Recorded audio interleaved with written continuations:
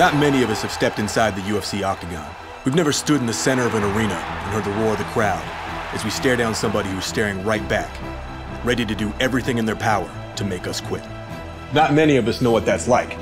And so when we set out to make EA Sports UFC, our goal wasn't just to show you the most realistic UFC game you've ever seen, but to make you feel it through every last detail.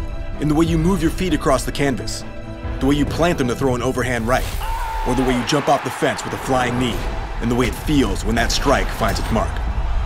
No matter how much your teammates have helped you prepare, sparring and training in the gym, when that door closes, you're going to war, alone.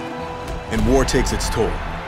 We've put more time and effort than ever before into creating living, breathing, intelligent fighters who struggle, sweat, bruise, bleed, and bend in a way that's as real as you've ever seen. A win in our game can be beautiful or it can be brutal. But however you choose to get your arm raised, it's going to feel authentic. This sport is about a lot more than just fighting.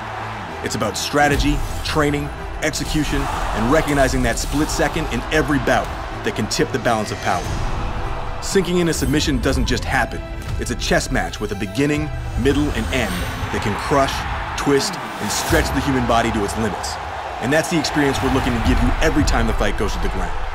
So if you've ever wondered what it's like to trade blows in the center of the octagon, or to escape the pressure of a guillotine just as things start getting dark, or to keep fighting when your lungs are burning, your face is bleeding, your back is against the wall, and still land the knockout of the night, if you've ever wondered what it's like to feel the fight, we can't wait to show you.